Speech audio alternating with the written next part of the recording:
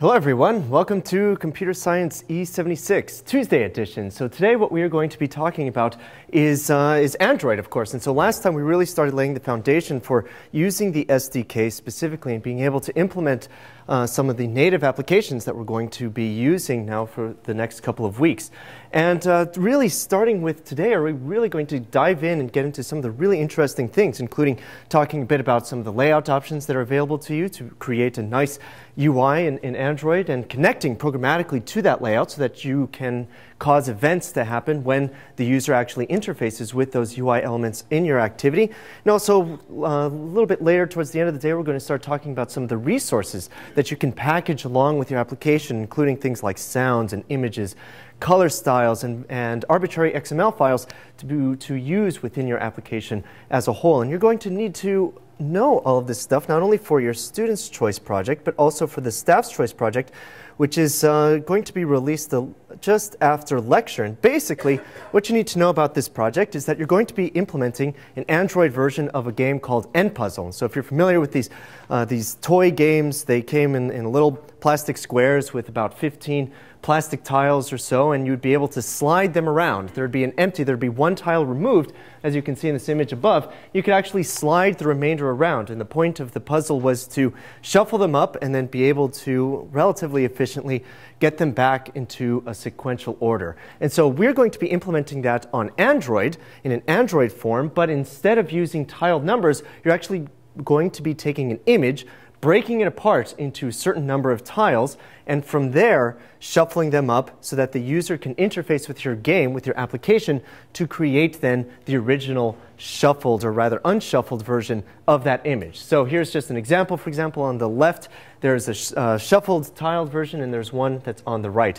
So it's not quite sufficient to be able to take an image, break it up into a certain number of tiles, and pseudo-randomly shuffle them up because it just so happens to be the case that uh, for certain types of, um, of shuffled boards, some of them are in fact impossible to solve. And in fact, this seems to be a problem when you have uh, an even number of tiles on the board. As you can see in this middle option here, you can't just randomly shuffle them up and some of them won't actually be able to be solved. And so there's a little bit of a discussion in the, in the project specification about what you have to do, but essentially, for those tiles or for those puzzles that you have to create where you have an odd number of tiles, or another way to think of it is an even number of rows and columns. So notice that because we're actually missing, because we subtract one of the tiles out, when you have an even number of rows and columns, you happen to incidentally have an odd number of tiles then what you're going to do is instead of pseudo-randomly shuffling them, you're just going to reverse all of the tiles. So go from 15 down to 1 basically, but then swap these last two. And again, there's more information in the project specification, but it's really sort of an interesting problem for us to be able to look at this and try to decide how we can pseudo-randomly uh, assign or shuffle these tiles so that you can then create an interesting game. Again, we're not going to have to do that for this one unless you elect to actually design that. If you do happen, if you do choose the option, and this is purely optional, you don't actually have to do this in your, in your implementation, but only if you really want the challenge, the algorithmic challenge of completing this aspect of it, one of the things that you can do is then come up with a way of, first of all, pseudo-randomly shuffling them, and then figuring out if that configuration is actually solvable or not. And so half of those configurations will be solvable, half of them will not. And so if you determine through some heuristic that you're not able to solve that particular puzzle, then you'll have to regenerate a new one. But again, that's, that's an optional portion of this, and something that, um, that I think is kind of fun, but is, is not required for this project as a whole. So just to give you an idea of what this sort of thing is going to look like, um, this is an example of a game. And this is nearly solved, and I took a couple of minutes before the class. I realized that when I wrote this app um, last year, I got really, really good at being able to solve these, these puzzles because after a while, when you're testing it, you, you have to do it a lot, and you just get sort of get a, a feel for how this, this game actually works. But then, this earlier today, when I was trying to pre-solve it for you, I realized, man, I'm really getting bad at this game.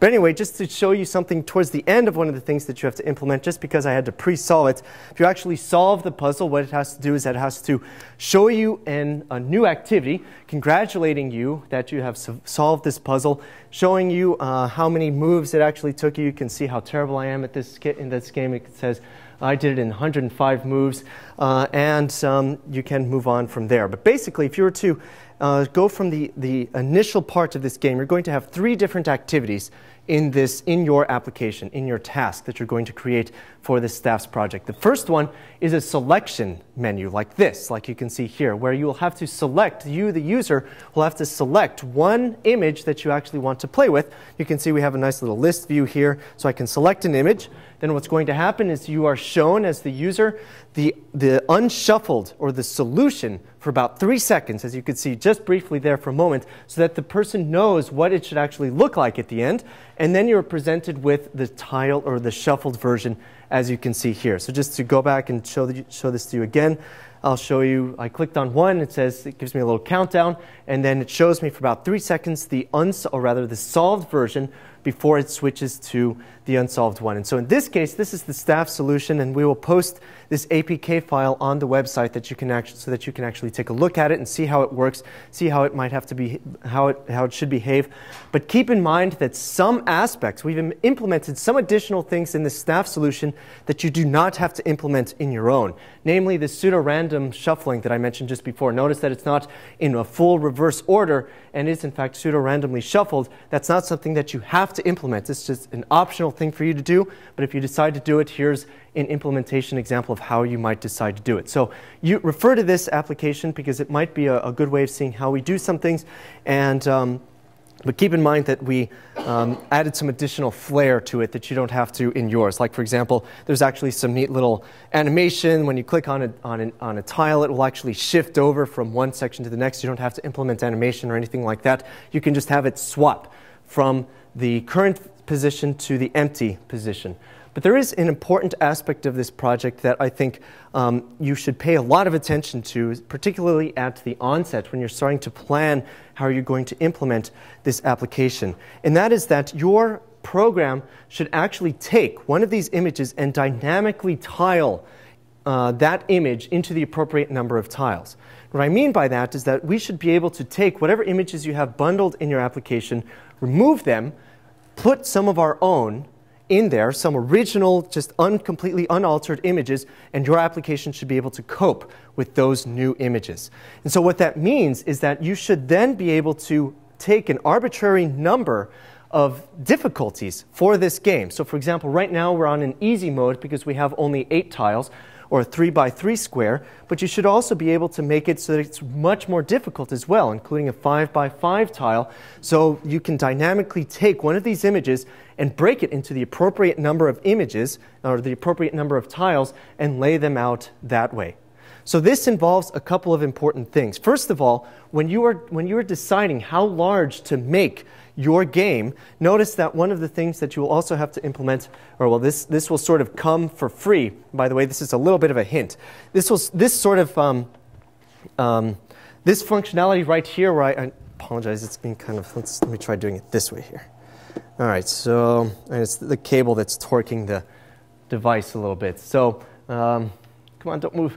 So as you can see here, no matter how I decide to, um, to orient the device, it will actually appropriately size and resize all of the, the, not only the entire board, but also the tiles themselves. We're not just arbitrarily shrinking all of the tiles, we're actually recreating all of the, the tiles from the original dynamic, or from the original image, and dynamically creating each of those tiles. So there's a couple of things to keep in mind. First of all, notice that this image happens to be shrunk to the largest size that it, that it possibly can be on the screen while retaining its aspect ratio. And what I mean by that is that if I were to take one of these images, for example, that's more horizontal, notice that it doesn't look squished. It's, it's a little bit smaller on the screen, but that's okay. We're not elongating it. We're not making it a little bit taller to make it fit totally on the screen. But what we're doing is we're resizing both the width and the height a corresponding amount so that it fits as a whole on the screen in, a, in an appropriate amount. So that's one of the first things that you have to do is to figure out how you can accurately resize this image without altering it, without distorting it, without stretching it or shrinking it or doing any of those things. To resize that photo so that it fits full screen on, this, on the device without any of those bad things actually happening to that, um, to that display. Then the other thing you have to worry about is once you have resized it, then you might want to de decide how you're going to tile it. So then you actually have to divide that resized image into tiles. Or you could do it the other way around if you want. You could first tile it and then resize each of the individual tiles so that in aggregate you get this sort of thing as well. But when you do those calculations dynamically, what you'll notice is that you can actually then reorient the device as like this, and it will then be able to recalculate each of those things in an appropriate way, and you will be able to play this game without having any distortion or change in the, in the aspect ratio of the image. And I dare say that this is going to be one of the more difficult aspects of this project is all of those calculations, making sure that it's going to look appropriate on the display, figuring out how the layout is going to work, how you, what layout options you're going to use, what layout scheme you're going to use so that you can actually set these tiles up on the display and be able to interact with them in that manner. And so we will have a, a little bit of a walkthrough. I believe it's tomorrow, and Tommy will, will uh, get you started on this, this project. And so I recommend um, not only uh, attending that, but also watching the videos a, a, couple of times if you want to get started on this, on this program and uh, have fun with it that way. So again, we'll post the uh, project specification in, uh, by, um, later tonight. All right. Now, coming back to this stuff. Last week, what we started talking about were, was actually creating a UI in an activity in Android. And we, we, might recall that when we talked about an activity, an activity is basically just the thing that a user interacts with. And there's this whole life cycle that an activity has to go through uh, in order for it to be created, when a user actually interacts with it, and when that activity can actually be destroyed by the system. And we'll see more about that in a little bit. There's some other things that we have to talk about before we can actually talk about when we can implement other aspects of this activity life cycle. But as you might recall, there were a couple of ways that we could actually create a UI within this activity, and we would do that within the um, within that method that's created, uh, that, that method at the onset, that's called at the onset of the creation of the activity. And so we can either define the UI either programmatically, as we can see at the, at the very top, or we can create it uh, using some XML files and then be able to instantiate that layout that we've created in an XML file and, and uh, display it in our activity. So recall then that we, the very simple hello world applications that we had last week just use some text views, which are just some objects that are just going to display some text on your activity in a very sort of simple uh, but per perhaps still meaningful way. But if we want to create more complicated UIs, then what we need to do are actually to have a, a whole bunch of these views in aggregate. Perhaps we want to not only have a text view, but also a button. Maybe we also want to have a little field so somebody can enter in some text. There's, there's actually a way that uh, user would be able to input some text to our application, or perhaps we want to display a picture, or perhaps we want to do any number of things. We have to then use a view group, which can then hold a a collection of these views and display them to us as a user. And so this is a pretty abstract concept using a view group, but as you'll see, these view groups can really be thought of as layouts. You can think of different view groups as being different types of layouts. So perhaps you want to have a view group where you can actually show these views in, in, a, in a stacked format, a vertically stacked format. So one is right on top of the other. Perhaps you want to have a different type of layout where they're in, instead stacked horizontally so that there's one to the left, to the right. And perhaps there's other layouts that might be useful as well. And so here are some example of layouts that you might or might not use um, throughout your time here. Some of them are going to be uh, you're going to see quite a bit, and some of them you may not use quite so much. But there are, in fact, a whole bunch of layouts that are view groups that allow you to collate a whole bunch of views together and display them in some way on your screen. So frame layout, for example, linear layout is that one that I mentioned just, uh, just a second ago, where you would be able to stack items vertically, one on top of the other. Uh, relative layout is going to be pretty useful and pretty interesting because you can uh, sort and place objects arbitrarily relative to other objects on the screen. That's going to be pretty nice and will help us overcome some of the issues of, um, of fragmentation in the, in the platform and so on. Uh, and some other ones, let's see, the table layout is also pretty nice because you can create a table. It's sort of similar to an HTML table, but there are some key differences that might uh, if, you, if you come from an HTML background, might frustrate you a little bit, at least at first, and some other ones as well. So we didn't get a chance really to talk about some of the layouts, but uh, if you go to the course website, we do in fact have some of the latest, um, uh, some of the latest source projects available for you to download and, uh, and try on your own Eclipse as well, so you can see how we're doing uh, some, of these, some of these layouts. But the most simple type of layout that we might actually have is something that looks like this, which is just, again, a very simple Hello World app, but we have now several views, one on top of the, one on top of the other. Now, the reason that we have to use a layout for this is when we pass a view to our activity, we can only give it a single view. So really, if you might, if you might recall that slide just a second ago, we had a view group, which then had a, several children associated with it. In order for us to show more than one view, we have to have a view group that can then house, as children, several other views within it. So you might then actually have, like we saw in this slide, you might actually have, the, as the parent node, a linear layout that then can hold several children. So in this case, we have a linear layout that's this view group at the, at the very top. That's the parent hierarchy. It's the very top node in this, in this tree. And then you have as children to that several text views that can then display each of those, um, each of those phrases that we saw just a second ago. And you can make it a little bit more complicated than that as well, as we'll see in some future examples where you can actually nest view groups as well. So you could have a linear layout that is, a, that is apparent to another linear layout so that you can basically create a faux table in that way if you wanted to have a linear layout that had stacked vertically layouts and, and then um, the child's linear layout then is able to use views in a horizontal fashion as well. So if we were just to take a look at this code, what we're doing is we're not creating this, this code uh, or this layout programmatically, but we're going to define it in XML. And then in our application, in our Java code, we're just going to tell the activity that we want to use this layout that we have defined here. So just to um, bring this idea home a little bit, all of the, the code for the next few activity projects that we're going to look at basically just look like this. Just very simple. It's what we saw with the Hello World application. All we're doing is instantiating our activity, creating our activity, and setting the view to the parent node in that layout XML file that we have that we're going to see in just a moment. Now, for those of you sitting here as students, you're actually very lucky because previously, when we dealt with layouts in Android, we pretty much did everything in XML like this. And you would have a little bit of a preview that Eclipse could show you, or one of the, the Android SDK tools would show you that Eclipse would, would actually piggyback on.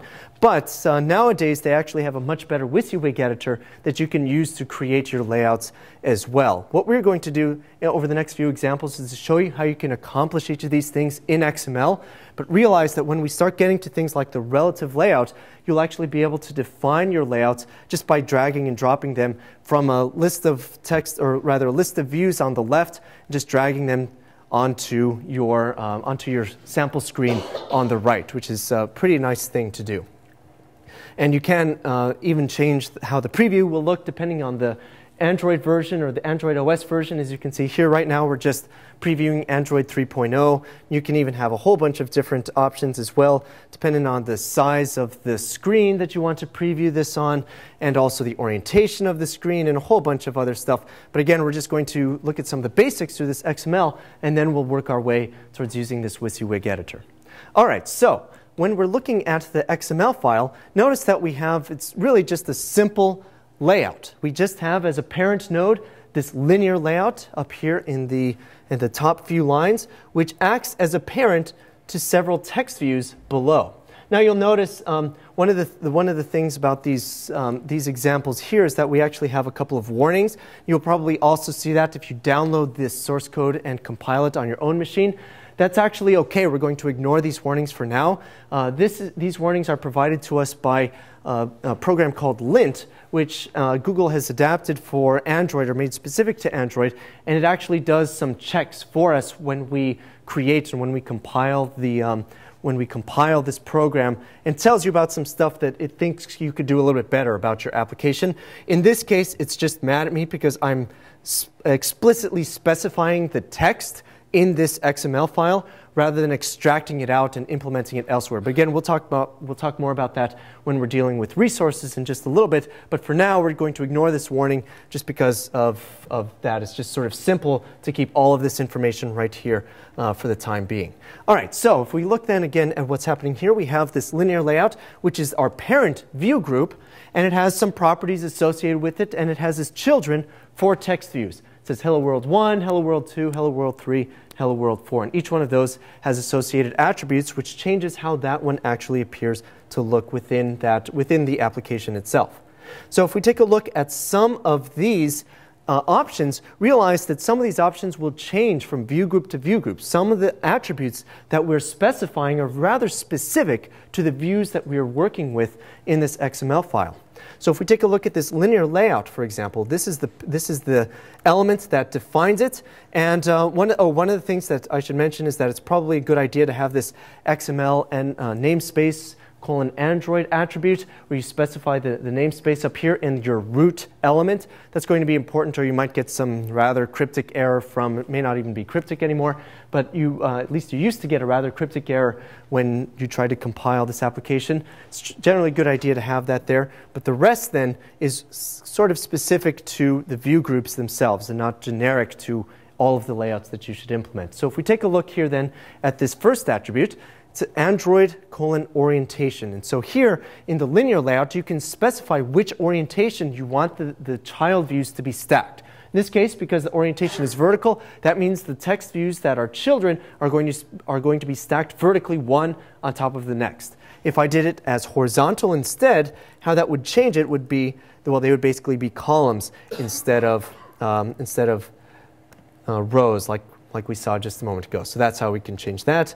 Uh, one other thing, notice that we have here layout underscore width and layout underscore height. Now that's pretty important. Oh, this stupid problem again, huh? All right, so that's pretty important because whenever you see something that says layout underscore, as you can see here, what that means is that you are modifying this attribute in, for, that, uh, for that view within the, uh, the parent view or within the object that happens to contain that view. So in other words, what we are saying is that what the width of this, this view itself should be is it should actually fill the parent. Now how this is different than, than just regular Android colon width, for example, is the width is, is the width of the content inside of the view itself.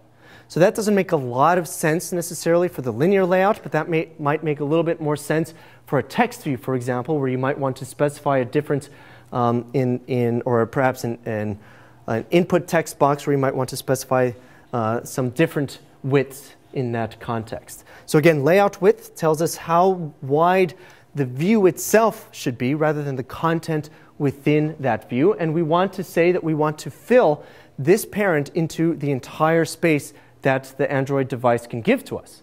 And so for that reason, we are then going to specify that the width and the height, or more specifically the layout width and the layout height of this view should be fill parent, which then does as you would expect. It then creates, it then causes that view to expand to fill in the space that that parent actually provides.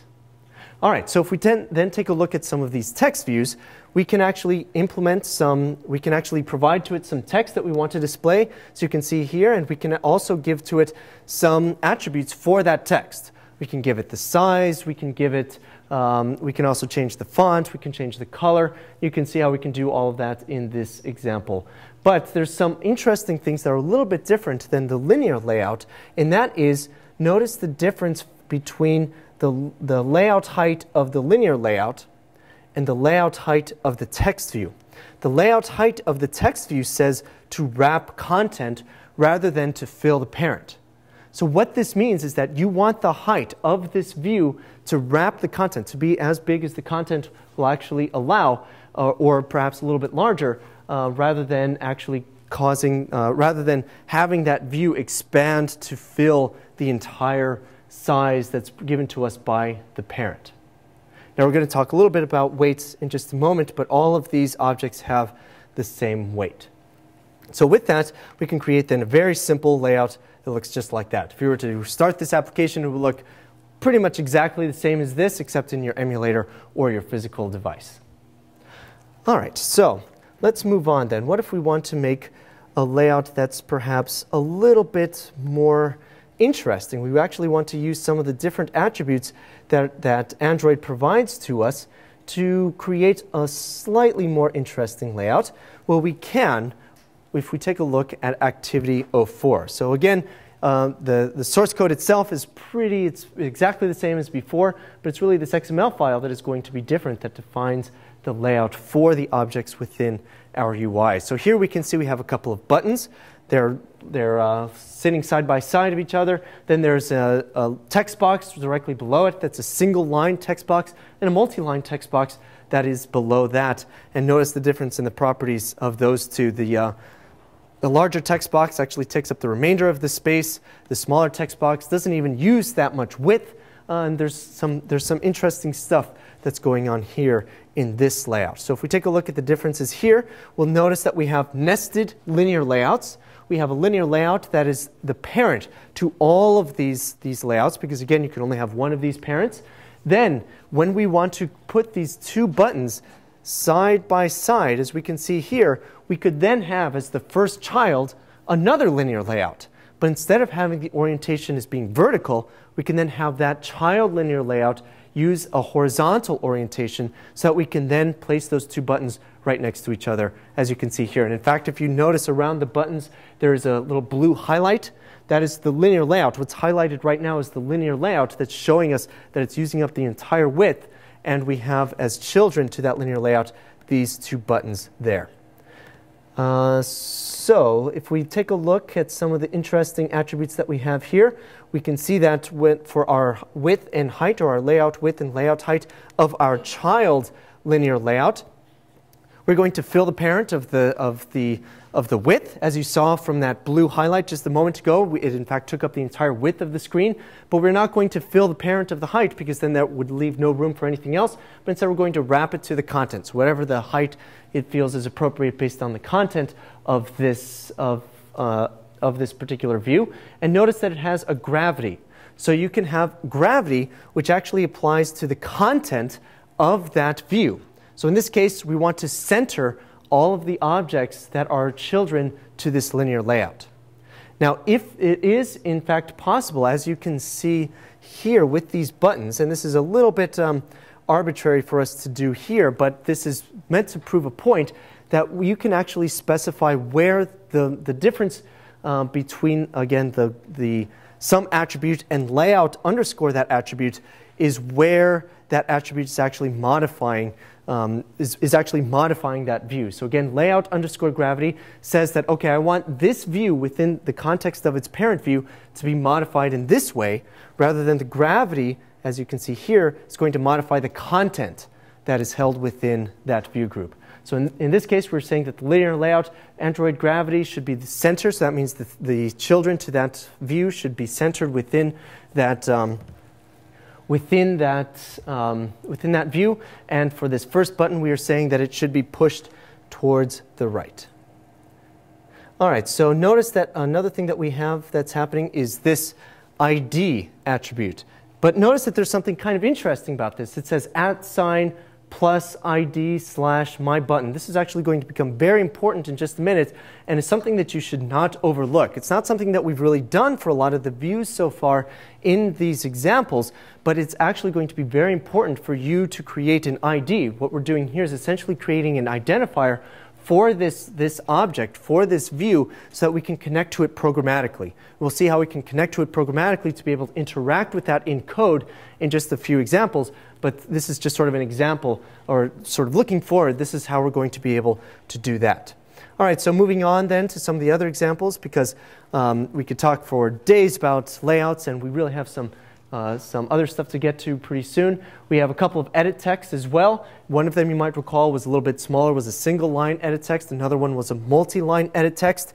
I'm going to do a little bit of hand waving to some of the specifics, but there is one thing I want to, I do want to mention uh, about these, and that is this one attribute down here in this second edit text, and it says the, uh, oops, not the gravity, uh, the minimum, um, nope, the layout weight is what I want to point out about this second edit text. So by default, all of the views in your layout have a weight of 1. But if you give some views a higher weight than others, then those will be considered to be more important for their sizing and for their for it will respect the attributes that you provide to those views more strongly than it will some of the other ones that have a lower weight. So in other words, what's happened here is that we have said that we want uh, to have a multiple line because we have a minimum line and, and it's, uh, we have a minimum of two lines and it is not in fact a single line edit text box. We have a multi-line edit text box and we wanted to be able to wrap the content. But there's no content in it quite yet. But what we can do is to provide a heavy weight to it through this layout weight to tell the Android OS that we actually want that to fill the remainder of the space. So this is something that's useful for you if you want to be able to dynamically resize some of these objects within your layout. So again, play around with some of these options. In fact, all of these are available to you in the WYSIWYG editor. You can right-click, or if on a Mac, you can control-click. Notice that we have access to all of these same attributes that we defined in XML, but you can also just change uh, in, in the GUI as well. So notice that we have layout width, layout height, single line, what type of input it is. Uh, in this case, we just have a very simple standard, um, standard string, but you can also have other types of input as well including dates, times, and uh, phone numbers and variety of other things, which changes the context of the keyboard and such, and, and other things that are available here as well. All right, now let's move on a little bit to activity five, which is a slightly different layout. And now we're going to move away slightly from using these linear layouts because while they are useful, they are in fact rather limiting in the sorts of layouts that you can do. And in layout five, or rather activity five, we're going to show an example of using table layouts so that you can actually create rows and columns of tables like you might in some other instances. Well, I mean, table layout's relatively self-explanatory, I hope. Now, what's interesting, though, about table layout is that you get to define an arbitrary number of rows and columns without predefining how many it actually has. So in other words, uh, and this is sort of what's different than HTML perhaps, you can actually have a row, the very first row, have only two columns, for example. So you can notice that we have nested within this table layout. The very first child is the table row, and the first children within that are the columns that represent that row. We only have two objects in this, um, in this row. And so basically, if we were to look, look at this in sort of a naive way, we might say, okay, well, as a result, this row has only two objects, so therefore it should only have three, uh, rather two columns as a result. But in Android, you can, you can specify an arbitrary number of rows without needing to predefine how many rows and columns this, this table is actually going to have. So really all we need to do is define a table layout and tell, um, tell that layout that we want to fill the parent for the width and the height. We'll talk about the shrink columns in just a moment. And then for a row, we just need to provide some children to it that, are, that represent the columns that are going to be shown within that row. So if you recall from what the layout looked like just a moment ago, we in fact had a table with three different rows and while it looks like most of them have only two columns, there is in fact the second row which happens to have a third column, a little asterisk as you can see here. So if we look at that one, we can actually see that this row does have in fact three columns or three views that represent one each one each represents a unique column within that row. But because in this first row, we can actually specify which column number we want to begin with. In this case, notice that the very first text view says layout underscore, underscore column equals 1. And again, if we're, if we're thinking that these columns are zero index, that means that this is going to be the second, the second column. Then we can arbitrarily define how many rows and columns we actually going to have within our, um, within our row. Okay, so we have three rows here just to uh, close this idea. We have the third table row down here, each with a few text views, as you can see here. Uh, and we've done a similar thing where we've actually defined the second, or we've defined the first child to this last row's view, or this last row, as the second column so that we can push it over and leave room for that asterisk, which was in fact the first column of the second row, as we saw just a moment ago. All right. Now, table layout is, is also pretty useful and pretty interesting, I think. But I think one of the most interesting layouts that you're going to use perhaps most often in your, uh, in your, in your Android career is perhaps to use relative layouts. This isn't to say it's going to be the only one that you're going to use, but it's going to be one of the most useful because you can specify where things are placed on screen relative to each other rather than having to really strictly define a, a, a, row and a column layout or, um, in, well, I mean, with the table layout, it definitely was using rows and columns. With the linear layout, it's sort of a similar thing where you have to define a number of, of linear layouts to arbitrarily create rows and columns. But using a linear layout, can you create more interesting UIs without much more work? So in activity 06, can we start to create some UIs that look a little bit more smartphone-like in the way that they're actually laid out just by nature of using this relative layout.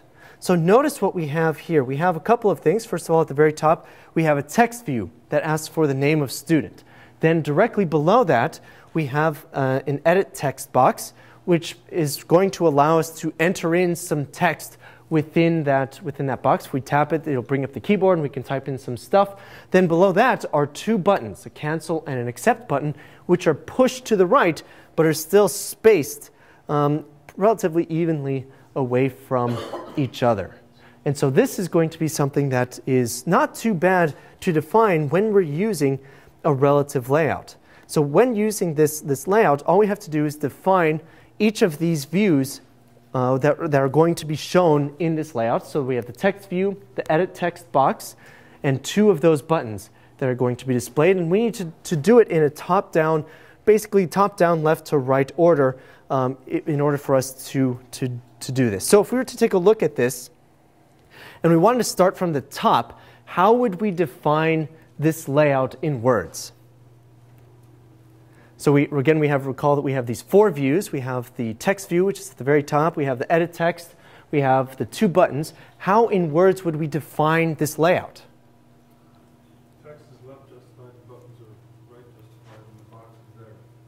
Right. So, okay, so to put it a different way, if we, if we wanted to define it from going from top down rather than jumping from uh, the top to the bottom and then to the middle, we might change that a little bit to say, well, okay, there's the, the text view at the very top, it's left justified. Then immediately below that, do we have an edit text box? And then immediately below that, do we have two buttons that are right justified?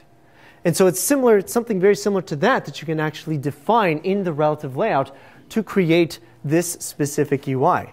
And in fact, that's how we define it. Using the text view, we define that first. And notice that again, this ID attribute has come up.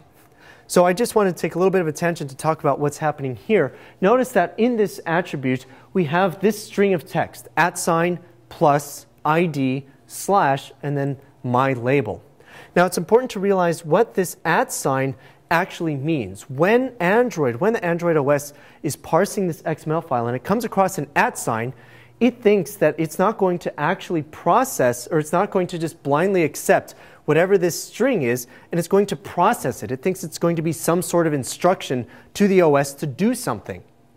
And that's exactly what's happening is, is it's going to stop for a minute and say, okay, this is actually going to be this is actually going to be representative of something rather than just a, uh, a string of characters that I'm going to just accept.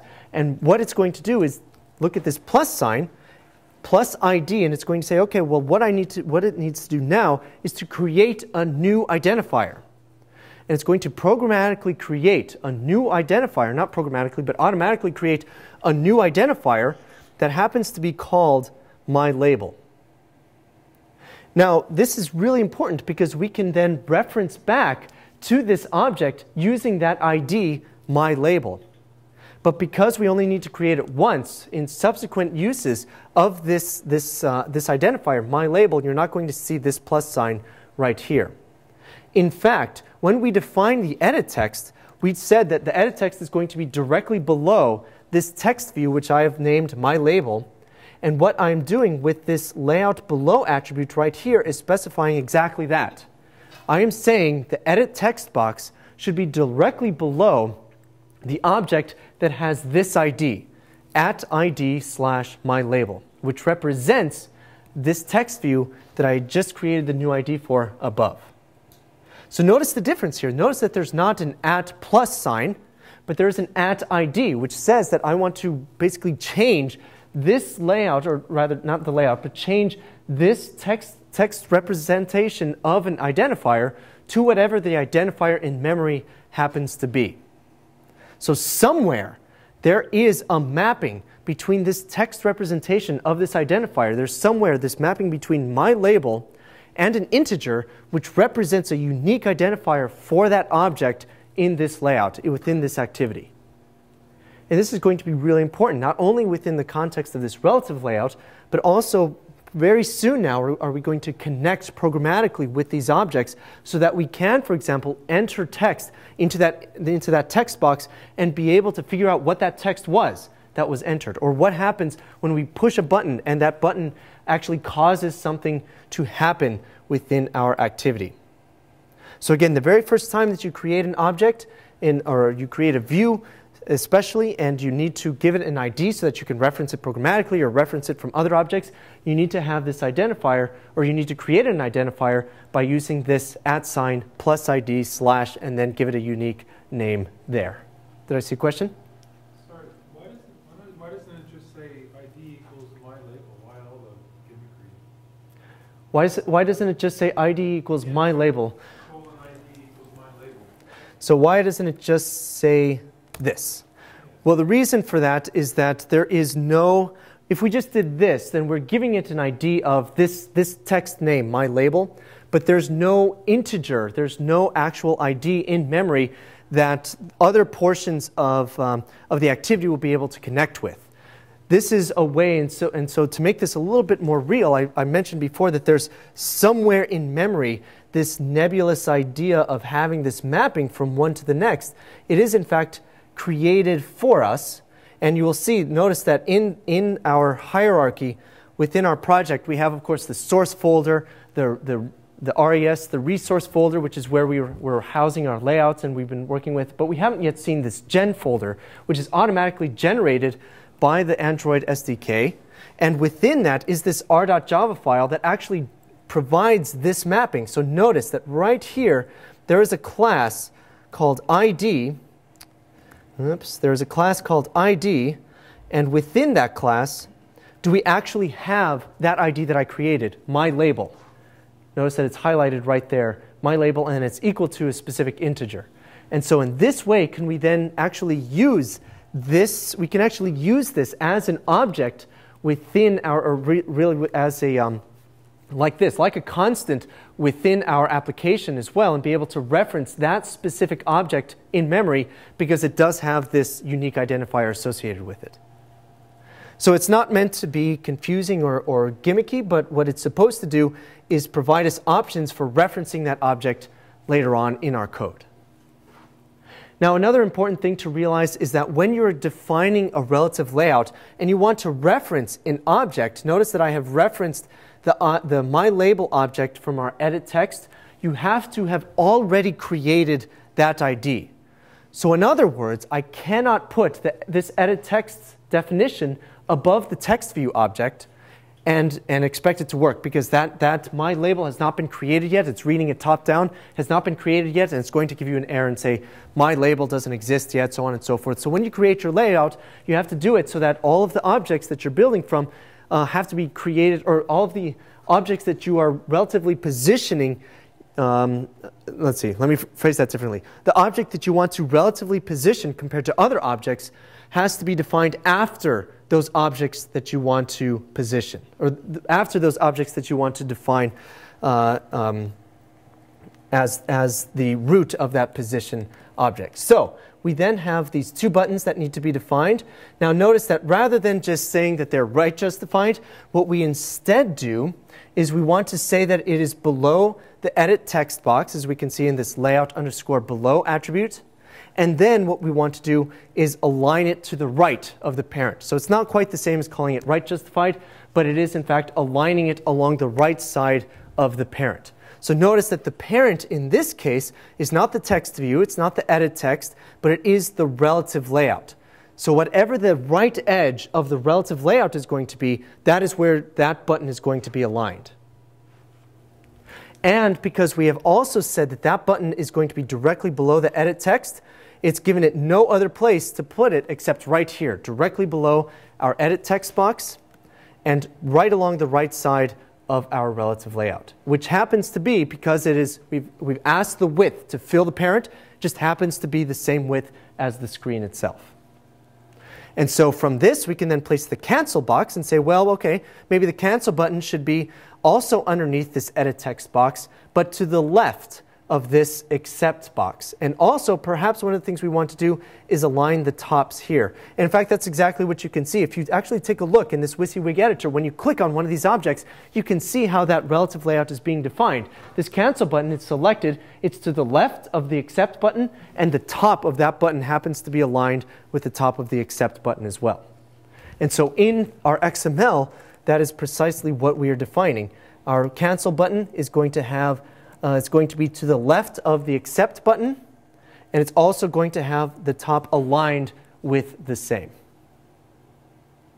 Any questions on that? So I recommend playing around not only with the XML, but also with the WYSIWYG editor. To see how you can position things to find out how things are actually positioned. It's really something that takes a little bit of getting used to when you're first getting, uh, when you're first using this sort of thing. You can see all the examples in the world, but until you start dragging buttons here and figuring out how it's actually defining those buttons relative to these other buttons and modifying the XML file to see how it impacts the UI, um, will you will it be sort of a mystery. And so, uh, really, then working with this will demystify that and make it a little bit more palatable and a little bit easier and, and perhaps even comfortable to use this particular type of layout. All right, so now we've been talking a lot about well, how can we actually create IDs? How can we create each of these objects and, and all of these things? But what about now the more interesting aspect of actually connecting to that, those objects programmatically within our source code? And that's the point of layout 7, so, or rather activity 7. So in activity 7, the layout now is exactly the same as activity 6.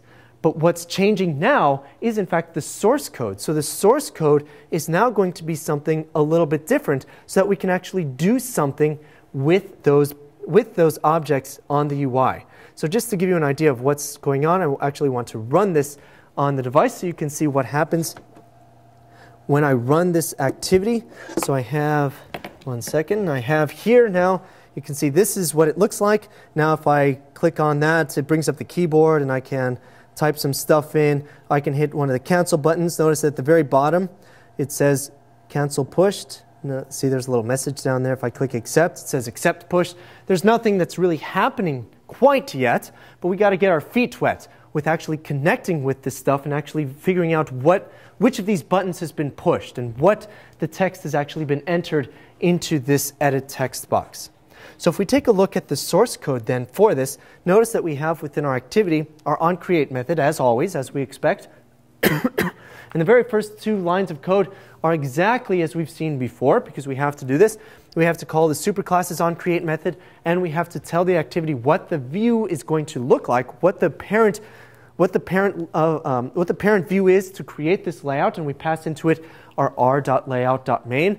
Notice again that this sort of mysterious R object has come up again. We'll talk more about this in, in just a little while. Um, but now we need to connect to those buttons so that when we click on one of those buttons, we can bring up that little message called a toast at the bottom of the screen that says either cancel was pushed or accept was pushed.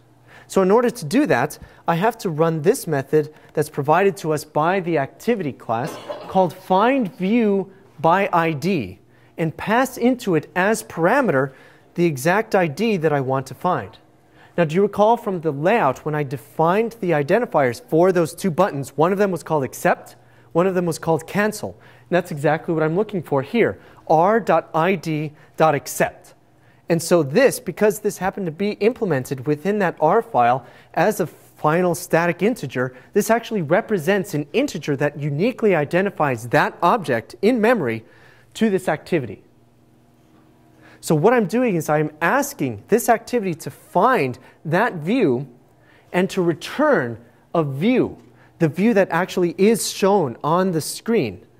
And when I do that, it's just returning this find view by ID is returning exactly that. It's just returning a view. But because a button happens to be a specific, uh, or it happens to be a subclass of a view, we can just then uh, basically typecast that view into a button and say, okay, I now have in this variable that I'm calling accept, don't get confused by this various usage of the word accept. We have here this, this is just a variable, but whereas this use over here refers to the ID that we've defined in the layout, So there's these two different, there's these two different uh, uses of the word accept that I'm, that I'm using here. But essentially what's happening is that I'm creating this new variable called accept that is of type button. And a button is in fact an object. So for all of these things in the layout, the relative layout, the table layout, the, the buttons, all of these things not only have a corresponding representation in XML, but also happen to be objects within the Android OS space as well.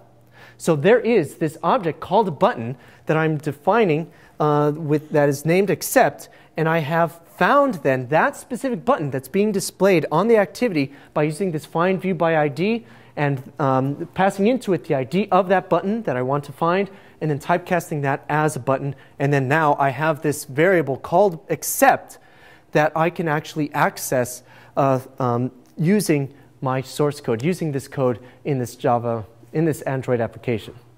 So I do a similar thing for cancel down here. For every object that I want to connect with, I'm going to have to have this line of code basically that connects this specific object um, to, its, uh, to its counterpart in the UI as well. But this really then allows me to abstract. This code does not care where on screen this accept button is, where on screen this cancel button is. It really allows me to separate the content from, from uh, the content that I'm using here in this source code from the layout itself that I've defined in the XML file. All right, so now that accept is in fact a, um, an object that I can manipulate and work with, one of the methods that the button class provides to me is a set on click listener. And what set on click listener basically does is we provide to it a function that is going to be called when that button is pushed. When I, when I, as the user, actually tap on that uh, cancel or accept button, what I am saying is that I want this function that I'm calling respond to click, or rather, really, what this is is an object that's an anonymous, that's an anonymous function. What, I, what I'm asking is that I want this respond to click to be fired, and for something then to happen as a result of my clicking on that button. So, what then is respond to click? Well, respond to click is something that I actually implemented above this onCreate method up here. Now, notice what's happening here. This is a private on-click listener. So this is just an on-click listener. So basically, this is just uh, a variable respond to click that is of type on-click listener, and I am passing into it what is essentially I mean, you can essentially think of it as an anonymous function, but really what it is is that it is an object called onClick that is of type onClick listener that has a very specific method implemented within it onClick. So what all of this means is that in the, the object that I have to pass in to this function set onClick listener actually has to be an onClick listener object. And that onClick listener object has to implement something called an on-click method so that when I, the user, actually click on one of these buttons, or, or tap rather, when I actually tap on one of these buttons, either cancel or accept, what's going to happen is that it's going to find this object, respond to click, and it's going to fire the on click method within that object. So whenever I click cancel, whenever I click accept, it is going to then find this object, respond to click, and it's going to fire this on click method that causes all of this stuff to happen. Yes? Is the way that you use an anonymous um, function there kind of like how the callback functions in JavaScript were working? Yeah, so this is why I implemented it in this way first, was because this is sort of similar. This is perhaps the most analogous way that I could think of to, to, uh, to the callback functions that we saw in JavaScript, where we would define these callback functions as a variable, where we would place these callback functions into a variable, and then we would just pass the variable into one of these. This isn't exactly the same because we are, in fact, creating a new object and implementing or, uh, and implementing a method within that object, but this is the, perhaps the closest analogy to it. So again, notice what's happening. We're actually creating an entirely new object here just for the purposes of defining this on-click method so that some stuff can happen. So what actually happens? So assume that I actually click on one of the buttons, it finds this respond to click object, and then it runs this on-click method within it. And by the way, notice that it passes into it view.v as a parameter to this method. This is the this uh, view is actually the view that was tapped when this listener was fired. So that's going to become very important for us in just a second. Uh, we need the application context, as we'll explain in just a second. Char sequence text is basically just a, a string, as you'll see in just a second. Now, I wanted to figure out, notice that I, what I did when I set the on-click listener for each of these buttons was I set the same listener for both of those buttons, not only for the accept button, but also for the cancel button. And, but you might recall that when I actually ran this application, when I click cancel, when I click accept, two different messages popped up. So it's actually deciding what message to show based on which button was actually pressed. So how do I do that? Well, I figure out which view was passed into it. Recall that this view v was passed into it. And this view is the object that was actually pushed. So as a result, if I find the ID of that view, which just so happens, as you might recall, the, the identifiers for these views happen to be integers, then I can use a switch to identify which one was actually selected. Does it happen to be the case that the ID of this view matches that of the accept button? Or is it the case that the, the uh, ID of the view that was pushed matches that of the cancel button? And then I can change my message or I can do something different as appropriate for each of those. So notice that I, that I, all I do is I change the string that I've created above to either accept pushed or cancel pushed. And for right now, this default would be kind of bad if we ever saw this. That means that there's some object that has associated with it this, um, this on-click listener, and it's firing this, this on-click method even though we haven't uh, quite figured out or we haven't associated any IDs in this switch with that particular object. So in order for us to create a toast, or that little message that shows up at the bottom, it's a relatively simple sequence of, of things. First of all, we need a duration for that toast. How long is that message going to be shown on the activity? Then we're going to create the toast itself. We're going to make the text, provide to it the context, which I'll explain in just a second, the text, which is the, the message that I've defined above in the switch statement, and the duration, which I just done a moment ago. And then when I actually want to display this message, I can use the toast, or I can use the show method for that toast object. Now, the context is something that is pretty interesting as well. And what the context is, is basically just this sort of nebulous idea of the entire application. The, the, the context itself is used by the Android OS um, to define uh, the activity, what the, the process, what the processes are for that activity, the application. There's a whole bunch of stuff that's associated with that context. And basically, you can think of your program, your application as a whole, as being within the context of itself, right? You have this one application and it has a context that is, that is specific to that application. And perhaps if you were to run another application like Google Maps or the phone application, for example, then the context is different because it's no longer your application, it's no longer your task, but instead the context of that other application as well. And so when the, we are displaying the toast, it has to know the context that it's going to be displaying the message, and we pass into it the application context representing our own application. And so here we have get application context. But there's another way that we would be able to get the context as well, and you'll see that in future iterations of us using this toast message. So I mentioned before that this is one way that we can programmatically connect to our objects in our UI and have something happen when we actually click on some of these buttons. But there's a downside to implementing this in this manner, and that is what I mentioned before. We have this additional load of creating a new object. We're actually creating a new object, so we're using additional bytes in memory when in a mobile application, that's something that we really want to try to avoid doing.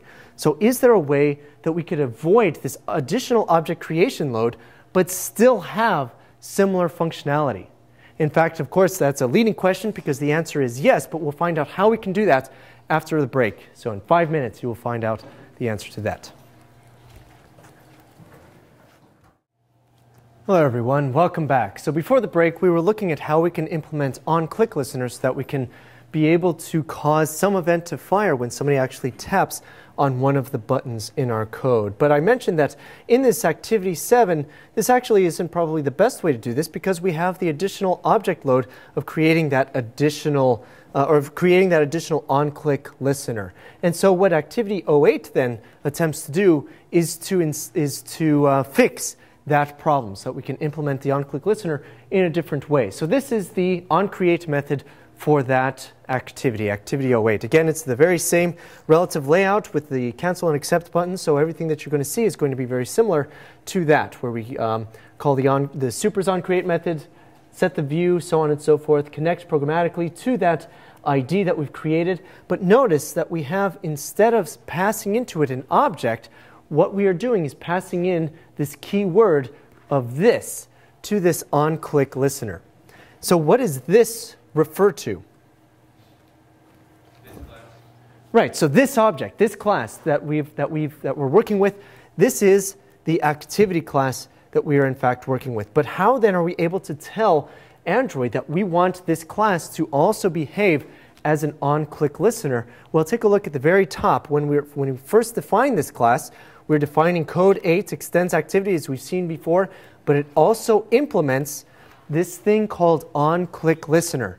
So on-click listener is basically an interface, and what we are saying by implementing an on-click listener is that we are guaranteeing that somewhere within our class, we're going to implement that on-click method with that one parameter view, that one parameter view v, so that we can then do something when we pass this object, our own object, this activity, into this, um, into this on-click listener.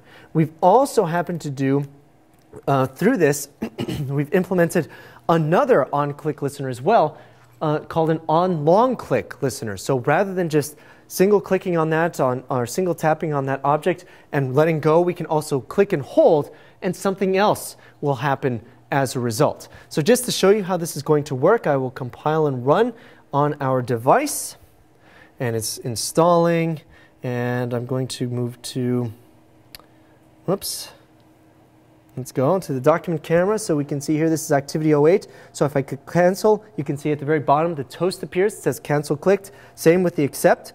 But if I click and hold accept you can see that some a different message comes up altogether. It said accept long clicked. And same thing happens for cancel as well so then I've been able to implement several different types of events within this one thing without creating, within this one activity, without creating additional objects that have to be loaded in memory.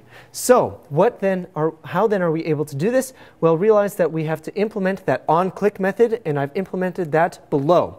And it looks very similar to what we saw before, but I cleaned it up a little bit. I, I implemented that, um, that toast message notification in a separate uh, in a separate method called show message where I pass into it some text. You can see what show message looks like up here, which is basically just the similar things we saw above, just uh, factored out into this separate uh, into this separate method. And when something is clicked, then I use the same method as before, where I use the switch to determine which one was actually clicked, and I pass that text into the show message method and proceed that way. And on long click is something that's very similar, but I'm using something just slightly different to be able to achieve a similar thing. Uh, what I'm, to, what I'm doing is I'm taking this view that's being passed to my method as a parameter, and rather than just accepting it as a view, I know that only one of that, uh, the only two views that are using this are buttons. So I'm in fact going to then typecast that to a button and say that that button has been I'm going to call that as pushed because that's, that was the button that was in fact pushed. And what I'm going to do is to get the text from that button. So this then is a method that is implemented by a view that actually tells us what text is being, is being displayed in that view. In this case, it happens to be the message either cancel or accept because that was the text that was actually shown in, on those buttons. And that's why it looks slightly different. That's why it says capital A accept when I long click it rather than lowercase accept because when I typed that, uh, when I typed that message in the above method up here, I just used the lowercase accept rather than um, pulling directly the text out of that view by using the pushed get text method.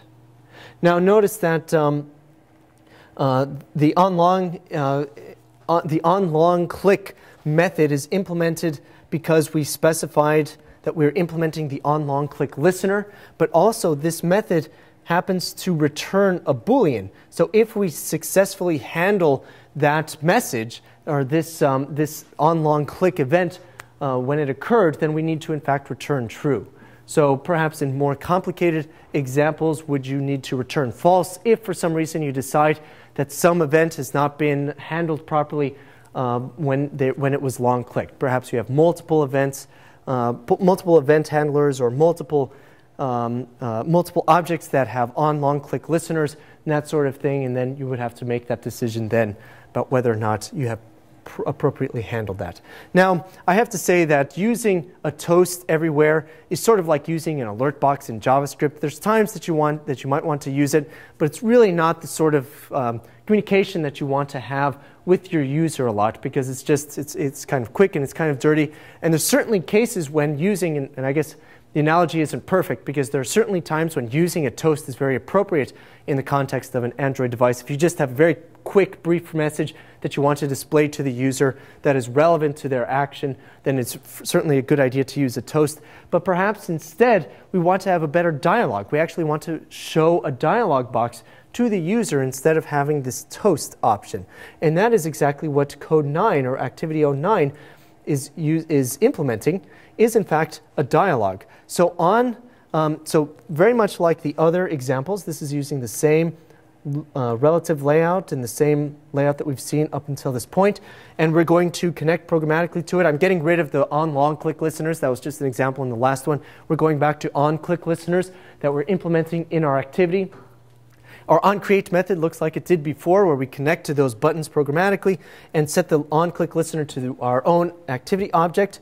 And so something then has to happen. Notice that we're also connecting to the edit text, or that, that text box that allows us to uh, that allowed us to enter in some text using the keyboard. Find out our text field or find our text field by its ID in this line here. And this will become relevant in just a moment. All right, so if we actually take a look at what's happening in this, um, in this new example, I'm actually going to type in, so it says ask for the name of the student, so I'm just going to type in J space Harvard. Hopefully this isn't going to take me too long. J Harvard. There we go. Oops, I didn't tap it properly. Then I'm going to hit accept. And it tells me now in a dialog, notice that it's very different here. It actually requires user intervention, and it, it tells me exactly the text that I've entered in. And in fact, in this case, you can see that I happen to enter an errand space just because I used the autocomplete and it used the, um, and it also uh, provided a space immediately after the word Harvard. And so what then is happening here? Well, if we take a look at the on-click listener, or rather the on-click method that we have to implement because of our interface, we can see that it's very simple. We're deciding which of these two buttons we're actually pushing, and we're going to do something dependent on one of those two buttons. I suppose I should actually also show you what happens when I click on the cancel button. It just asks if I'm sure I want to cancel. If I click yes, notice it, um, all right, I should probably do that in a slightly different way. Notice that what happens when I cancel, if I just run this on top of just this application on its own, and rather not on top of a stack of stuff. If I cancel and click yes, it does in fact close that activity. It wasn't quite so obvious before because our task was involved a whole string of activities of all of those other applications that we've seen up until that point. That's where that distinction that I made early on in the in the uh, in our discussion about Android, the difference between an application and a task really comes into play. When I clicked cancel before and it, and it sort of slid off to the side and we saw the previous program, that's because this was the newest activity up on top of the stack and really all it did was just close that one activity. But in this case, um, when I had that activity all by itself, the, uh, the task was consisted entirely of my single application, then closing that activity essentially seems to have closed that application to the user. So there's a couple of different things going on here. When I click accept, it fetches the text from that edit text box and displays it in a dialog. When I hit cancel, it asks if I'm sure, and if I'm sure, then it will in fact close that activity um, on, this, on the task stack. So notice that we have here, we're calling this method called show dialog. And this is a little bit of a leap of faith every year for some, for some students, but realize that show dialog is a method that's implemented by activity somewhere else, by the activity class or by some other class somewhere else. And what that method actually does is it calls, it basically is as if this dialog box has a life cycle of its own. very much like, and an analogy would be using this onCreate method. We no longer have this main method in our applications when we're working with Android, but in fact, because of this activity lifecycle, the very first method that's being called by some other object somewhere else is in fact this onCreate method. So basically for us, onCreate is this method that we then, uh, is, is essentially our main method for this activity. And that's a bit, I mean, that's you shouldn't think of it that way. It's not that at all, but I mean, we can sort of think of it uh, at least naively as, as our main method um, within the context of our application. And so, similarly, there is implemented somewhere else a method called show dialog that goes through a life cycle basically for a dialog box. And so, when it is ready, when this method is ready to create the dialog box, it is going to call a method called onCreateDialog. Excuse me. So the reason that this is a little bit difficult is that, um, or, or, or, difficult for some, for some people at first, is that there is the difference. What we are calling is not on create dialogue here. What we are calling is this method called show dialog, and it seems as though there's this magic happening behind the scenes. But just realize that this is just a method that's been implemented elsewhere that has to go through a sequence of steps in order to create and display this dialog for us. So this method is doing a lot of the grunt work for us, but it is still our responsibility to create the dialog box that we want displayed by this method.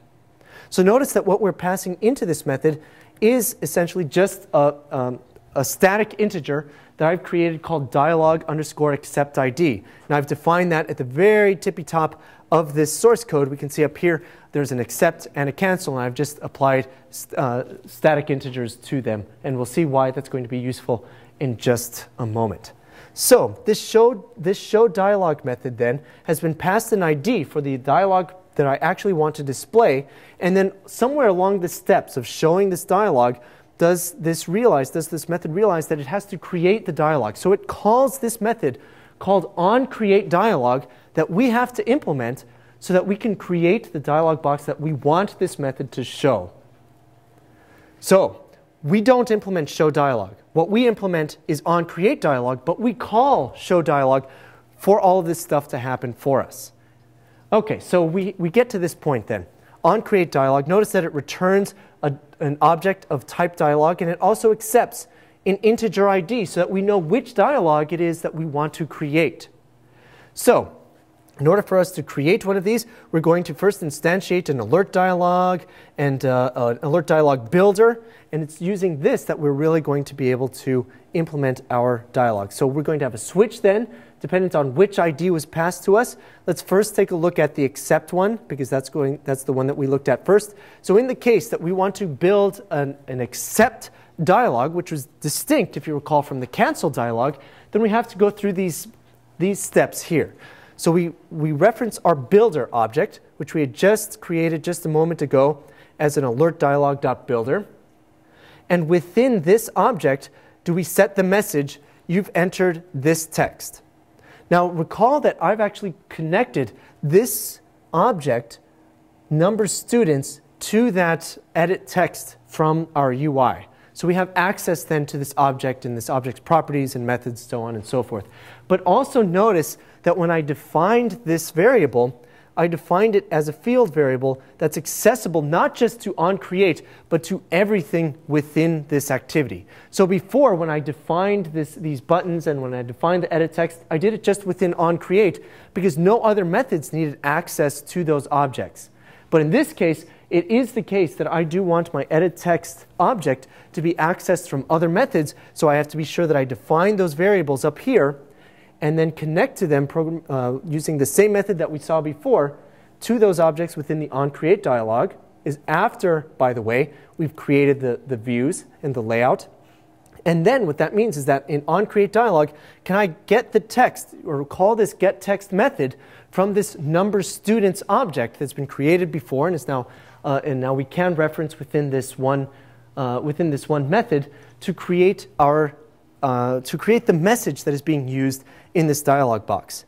Now, one of the nice things about this builder object is that all of its methods then return itself. It, it returns its own object. So that means that I don't have to uh, create a whole bunch of things like this. I don't have to do um, I don't have to do this. Builder equals builder.set message, and then I have a semicolon at the end, and then builder equals builder.set cancelable, so on and so forth. I don't have to do that because it happens to return itself as an object. Then I can just continue calling methods on the returned object. So in other words, you can see here that I have builder.set message. This is going to return that same builder object. So I can call another method here, setCancelable, which basically says whether or not the user can hit the back button on their phone, the actual physical back button, to, uh, to cancel the dialog box. In this case, I don't want that to be the case. And I can define a sequence of buttons. So I can set a neutral button, which has the, the text that's shown on the, um, that's shown on the button itself.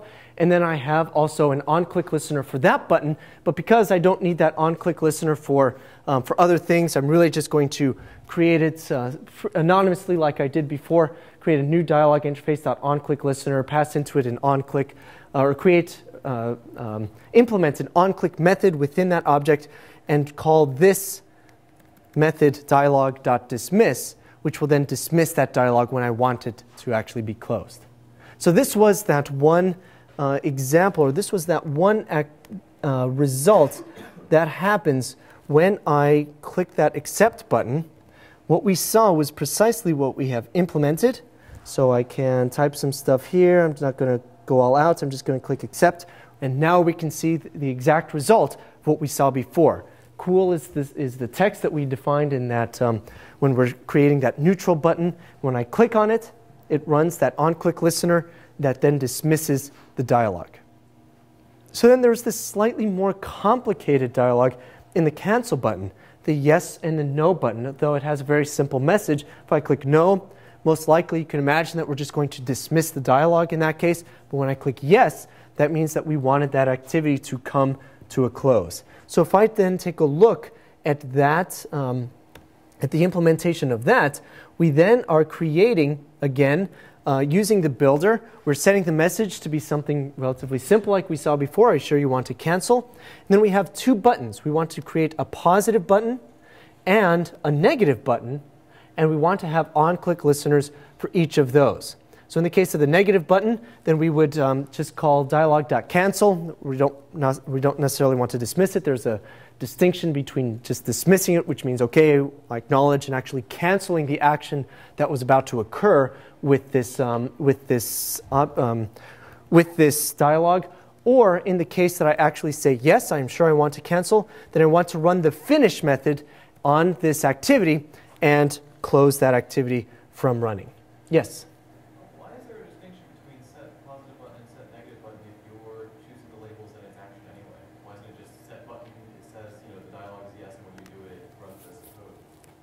Why is there actually a distinction between the positive and the negative buttons? Because you don't, um, I, what we're doing is overriding some of the default options, and I think that you don't have to do that necessarily. So it might also be a difference in the way that the button is styled as well, and the Android OS may not actually have shown it on this particular version, but perhaps other versions will actually highlight one or the other depending on which one is actually um, uh, is actually the affirmative or the negative version, and so on. There's probably a variety of reasons related to that sort of thing. All right. Now, there's one additional thing that I have to mention here. We've created our dialogues. Recall that in order for us to, to um, first show this dialog, we ran the show dialog method that then was responsible for creating and doing a whole bunch of other stuff, displaying that dialogue for us. But there's one thing that you have to uh, keep in mind when you're working with dialogues, and that is once you have created a dialogue for a specific ID, it has already been created.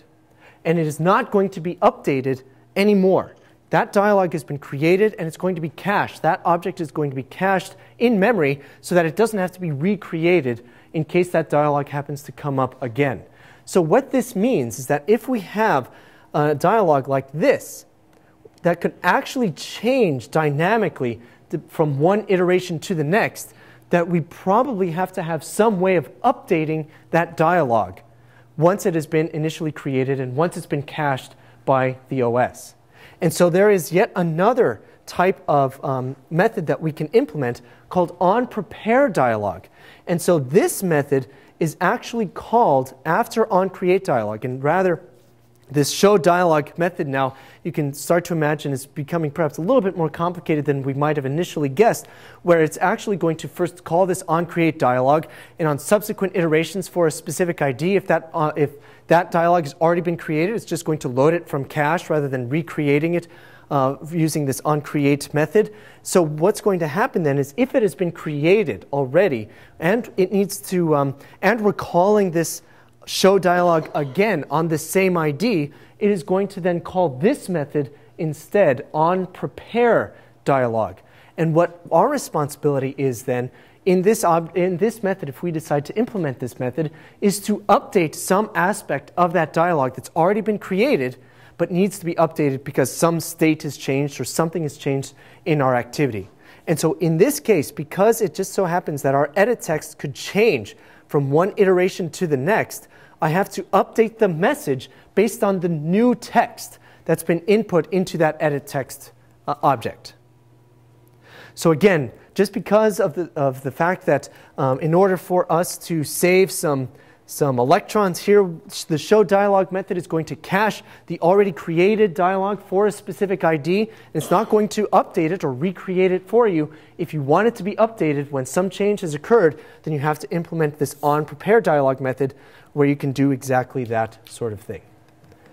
Any questions on this? yes?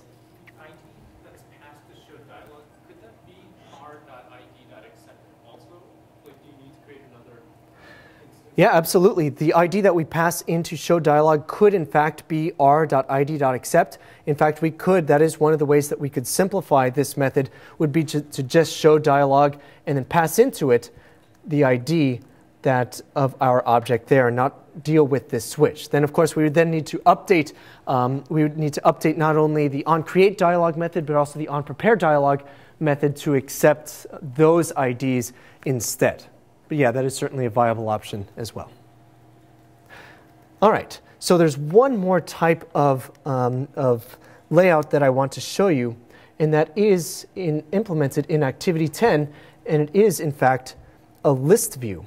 And so a list view is slightly different than some of the other views that you might be familiar with because it, in fact, changes our definition of an activity. So this is a list view. We have a variety of colors, and if I select one of them, little toast message shows up showing which one I had actually selected. So you can see I can click one of these and something actually happens depending on which one I'm, do I'm, I'm doing. Now, this is not actually a layout that we would define in an XML file and connect to it as we've seen in all cases before, but there is in fact a separate type of activity altogether that's specific to this type of, of, um, of listing. In fact, if you take a look at our declaration for this class, we're no longer extending activity, but what we are extending is, in fact, the list activity, which is going to be responsible for taking care of a lot of these things like that scrolling action some of the other stuff. So it makes it a little bit easier for us, but you just have to realize that when you want to use a list like this, you have to switch context a little bit in your brain and use a list activity rather than the activity that we've been uh, accustomed to up until this point. Now, a list activity has all of the same uh, hierarchy and life cycles as the original activity, but there's just a couple of things that are different.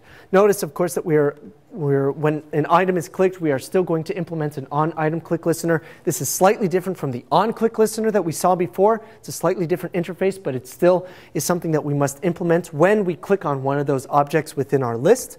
But if we take a look at the on create method, notice something that's very different. We no longer have the set content view method within our onCreate method. There is no set content view all we're doing is we're, we're calling our superclasses on create method, then we're diving right in to this activity. And what is happening in this activity? Well, we have to have this object called an adapter. And what an adapter does is it is responsible for actually passing a list of items to this list activity that that list activity will then display on our behalf.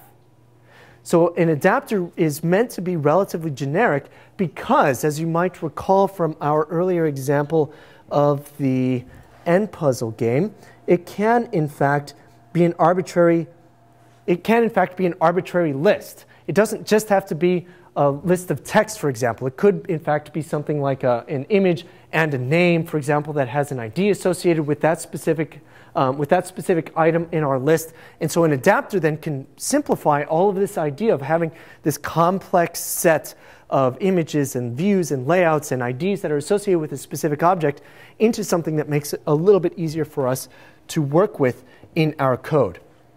So when we create a list activity, we have to run this method called setListAdapter and pass into it an adapter that is going to be responsible for these lists of items that is going to display on our behalf.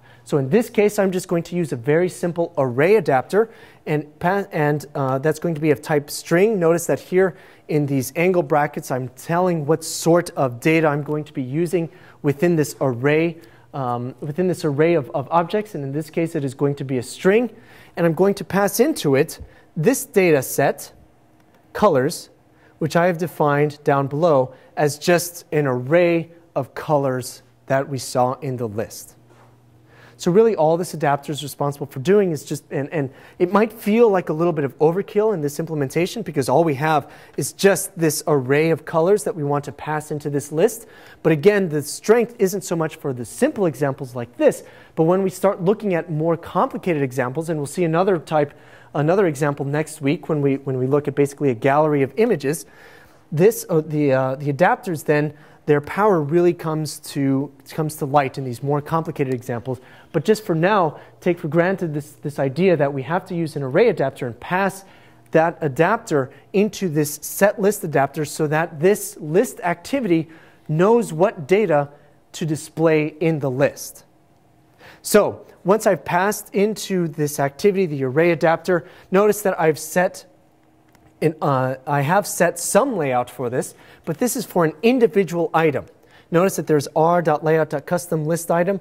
And in fact, if I look in my resource folder under layout, I have defined a single object in an XML file, a single item that will be displayed. And this is why those, that list looked like it did, because I defined a text view that's going to have an enormous text size and a relatively large amount of padding. So I could change this, and it's going to change the way that it's actually viewed, uh, the way that this object is actually viewed individually in this list adapter, or rather in this list view. Um, but this is just a single object that I pass into this set list adapter. So I pass into it the data that I want to deal with, which was colors. I'm passing into it the, uh, the layout of the individual item that I'm going to deal with, and it will then take care of creating that list for me that I can then connect with using this subsequent method right here, get list view. This is the list view that has been created on my behalf using um, by the by the lists activity and through and the data that was provided by the adapter. And I can set a variety of properties associated with this list view, like uh, this set text filter enabled. If you happen to have a keyboard displaying on your screen at the time, you can actually filter the list based on typing in some initial uh, some initial key presses. So for example, uh, well, let's see, would I be able to show this on the other one? I hope so. Let's do this on the emulated device, which actually displays which actually displays a keyboard for me. So now hopefully this is hopefully this is going to work. Live demos. If I type O, it filters the list, and this is very useful for very long lists as well. You can see that I started typing orange, and it shows me the one object that resulted in that. And then I want to implement an on-click listener for when I actually click on one of those items within my list activity. And I have already mentioned before that I set um, myself or this own activity as the on item click listener and I'm going to use that to, um, to listen for the, the item that has been clicked and then display that in the toast. So again, this is just a different way that we would be able to show a list of things. You're not going to use a standard activity, but you will use, in fact, a list activity when you want to display a whole bunch of stuff taking up the entirety of your list activity. And we'll be able to style this. You're going to see another example of this next week when we start dealing um, a little bit more with intents and that sort of stuff. But this is just to get your feet wet with this idea, just to get that sort of, get the juices flowing a little bit uh, and, the, and, and to get you in the right mindset for that. Now, if we switch gears just a little bit, there is, in fact, a few other things that um, we need to talk about today, and that is dealing with some of the resources. So, up until this point, we've done a lot of hand waving at this resource folder um, that we've dealt with, uh, with uh, somewhat, but we haven't actually worked with directly. So realize that the resource folder can have a certain set of subfolders within it depending on what sort of data we actually want to display. So we have drawable, which can actually display a variety of icons. So notice that icon.png is actually there, and that is actually the icon that's being displayed on the home screen for that application. We have the layout folder where we define all of the XML files for our layout. And now we have values. And values isn't something that we've seen before, but notice that we have colors.xml and strings.xml. And in fact, there's a variety of different types of resource folders that you can actually display. For example, you can have an animation folder, so you can define frame by frame animations. Uh, in Drawable, you can place a variety of images that are going to be bundled with your, with your application. Layout, we've already, we've already talked about. Values um, are things that are going to be compiled XML files, uh, and you can use as a resource in a variety of contexts, as we'll see in just a little bit. XML is just, a, is just uh, arbitrary XML files that you can use within your application, perhaps um, within your code itself, rather than referencing from layouts and from other things like we would perhaps use values for. And raw is raw, uncompiled files. But there's an important distinction between resources and assets. So resources are something that we can actually access using this R um, object that we've seen referenced to a couple of times today and in the past. And this is typically things that, uh, that we, we just saw examples of just a moment ago. So um, XML files and some, some, uh, some relatively small images and that sort of stuff. But if you actually have lots of raw data that you want to read byte for byte, then you would perhaps instead use the assets folder because the, anything that is inside the resource folder can be touched by the compiler. It can be optimized in some way. It can be, if it's a uh, JPEG or a PNG or, an, or some image file, it can actually be changed and modified by the compiler to be optimized for the device.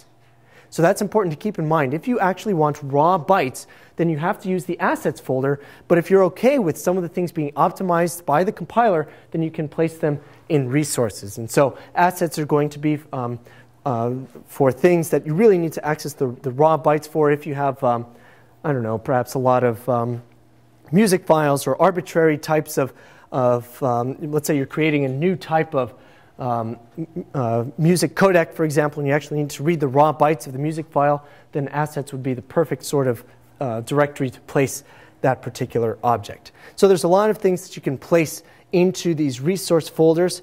Um, and it's also, there's, there is one important thing that I should mention. Anything that you place within the resource folder can only have, uh, the names can only be the subset of characters of lowercase a to z, a to z, numbers 0 through 9, an underscore, and a period. And I think that's it. You cannot have, you cannot name any resource files with an uppercase letter it's going to yell at you and it's going to be confusing. It's like, why on earth can I not name it this way? Uh, especially if you are working with a lot of images, for example, it might be very easy for you to uh, just copy or just to drag some images from your digital camera, for example, and drop them into the resource folder. So you might have a lot of images that are named something like this, capital I M G underscore 0123 or something like that, dot JPEG which looks fine, but because IMG is capitalized, it's not actually going to allow it. So you're going to have to rename all those files to be their lowercase equivalent. So that's just sort of a gotcha to watch out for when you're working with the resource folder. Again, that's just uh, sort of an optimization that has to happen, I guess, for um, the Android OS. So there's additional information about resources on the developer site, but there is one more thing I want to mention about resources as well as, uh, regarding the resource folders that are, that are contained as well, and that is that you can actually specify a number of folders, especially like drawable folders, for example, and be able to define very explicitly different resources for different types of hardware, for different types of configurations, for different types of OSs, so that you can really target your application to have different resources for different types of, of, of devices that is running, that, that might be running your application. So here, for example, we can define a drawable folder with different language types, different screen dimensions, different pixel densities, and there's a set of rules that Android will follow, the Android OS will follow, depending on which of those objects or which of those um, uh, qualifiers actually match the configuration of that device. So you can actually get some pretty fancy things happening as a result. So here, for example, there's in bold a resource drawable folder that's specific for uh, English US. Uh, it's going to be in portrait mode with medium DPI, uh, and it's going to be a finger touch screen versus, say, a stylus or no touch screen whatsoever. So if there happens to be a device that, that matches those characteristics, then this drawable folder will be used for that particular device. So you can really get specific with some of the drawables that are contained within your application. And this is one way that you can um, that you can really make your application specific to all of these various types of platforms and devices that your application might actually be run on. Now, to come back to this idea of the resource folder, notice that I have defined in here a colors.xml file. I've given it a name, and uh, I've given each of these examples a name uh, for, for different types of colors. So, red, for example, translucent blue. Notice that you can also define a fourth byte as well uh, when you're defining one of these colors in Android to define the alpha transparency of that, um, of that color, and as we're doing for this translucent blue. And because we are placing this colors.xml file within our resource folder, it is actually going to be compiled by our, um, by our compiler into this R class. So we can actually see then that we have defined, we have specific identifiers for those two objects in the XML file in, our, in that colors XML file. We can see we have an identifier for red and an identifier for translucent blue. So what this means is that you can use these objects not only in your program, not only in the code, but also in other XML files as well. So if, for example, we were to take a look at the layout that we've defined for this object, we can actually see that one of that the text color that we want to describe for this very last text view is in fact the color red. So at color means that I want to use this color XML file, and the red means that I want to use that red identifier or that red object that I've created, that red element rather, that I've created within that color XML file.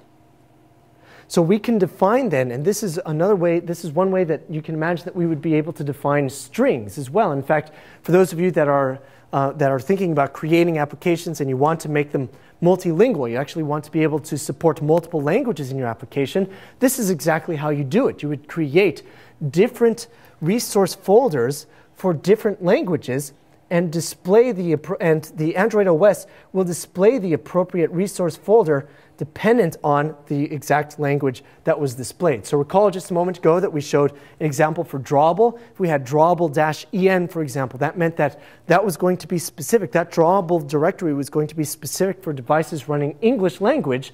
But in this application, in Intents02, can we actually see that we have two draw that we don't have two drawable folders, but we have two values folders, one for English and one for Spanish. And in this way, the Android OS is going to automatically pick the appropriate XML file, or rather the appropriate directory to pull the XML files in so that we can have an application that supports multiple languages. So notice that in each of these directories, we have implemented strings.xml. So there are identical XML files in each of these directories, but one of them happens to have strings in Spanish, and one of them happens to have strings in English. And so, how then do I use these strings? Well, it's exactly like what we've been talking about up until this point. Notice that I am using, I can reference the string by using the at string slash hello um, uh, differentiator right here in our Android text. Oh, this is frustrating. Try this one more time. It's right here in our text view. Do we not actually explicitly put some text? as we had before. And you might recall that I mentioned, oh, there's some warnings associated with this. And we had some little warning signs because we explicitly put some text in this attribute. Well, no longer am I doing that. I've now factored out that text, placed it into this strings.xml file within, uh, within this, um, the values-en and values-es directory, and the Android OS will pick the appropriate strings.xml file based on the OS, the language that the operating system happens to be set to at, the, at runtime for that application. So here we can see that all we are doing is referencing this string called hello in this strings.xml file. So here we can see that I've defined that string hello as being hello world Intents 02, or just say, yeah, hello world Intents 02. So if I actually run this application then, we can see what exactly is going to happen when I display it on, let's see, on a device that's running, that's running in English language. We can see exactly that. It says hello world Intents 02. Now if I change the language on this device to Spanish, under settings, uh, language, select language, Spanish, United States Spanish specifically. So notice that everything's now in Spanish. But notice how some of the names of the applications have also changed, but only some of them. Some of them have actually changed, like the browser, for example. Uh, Angry Birds hasn't changed, nor has the n-puzzle staff solution. So what's happening is that those, the, those applications perhaps don't have a values folder, a values directory for the Spanish language. So the, the OS is smart about picking which one. It's not going to require the fact that there is a Spanish version, but it will pick the appropriate one depending on what you happen to make available within your, uh, within your application. So I have here Intents02. We can see now that it has picked a different string from the other resource directory. So you can localize then your applications using this particular method. The resource, uh, using this, these, this resource hierarchy is a very powerful way of localizing your strings to various types of languages, but also to localizing it, making it very specific to the different types of devices that your application might run on as well. All right, any other questions or any questions on that? Yes?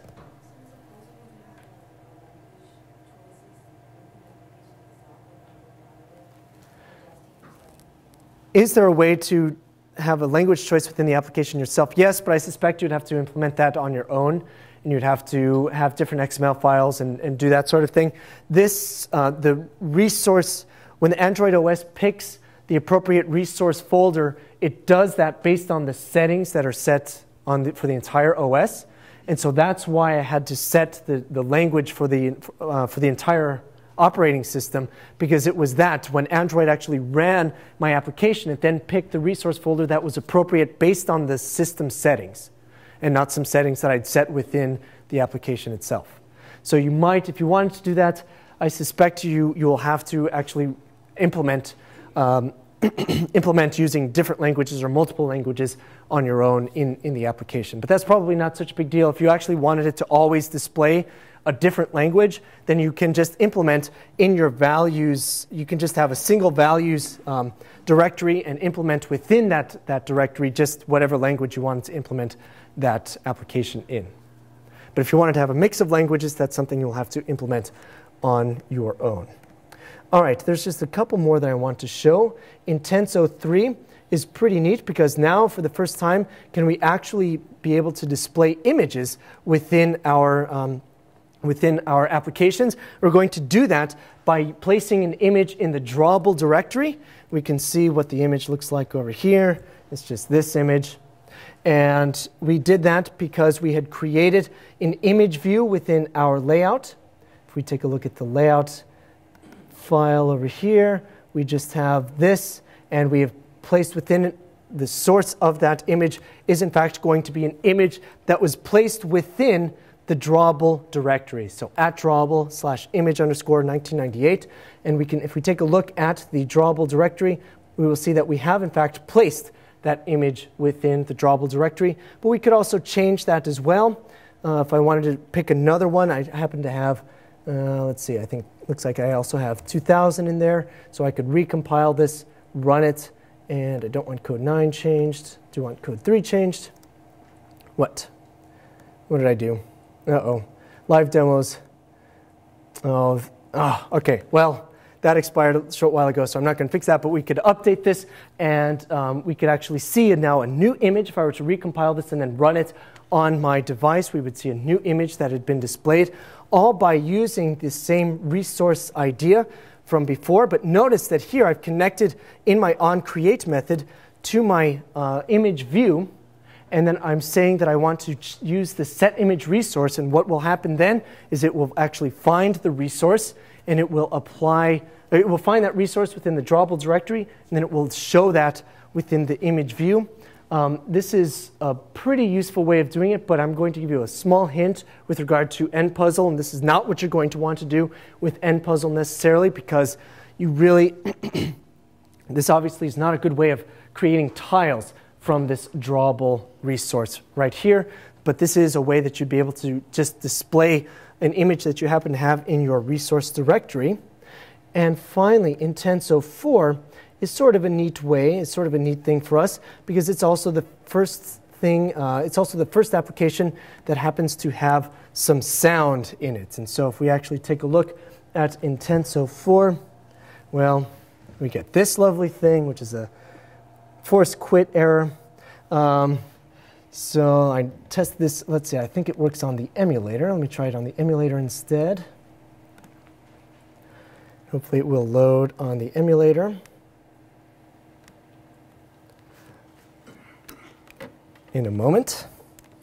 Otherwise, this will have to be an excellent way of saying, well, next week we will have to show you how you can use sounds in your application. And what's happening? Nothing. Nothing's happening despite testing this before. Oh, is it just angry because I've done this before? I've not done this before? Let's see. Try this one last time.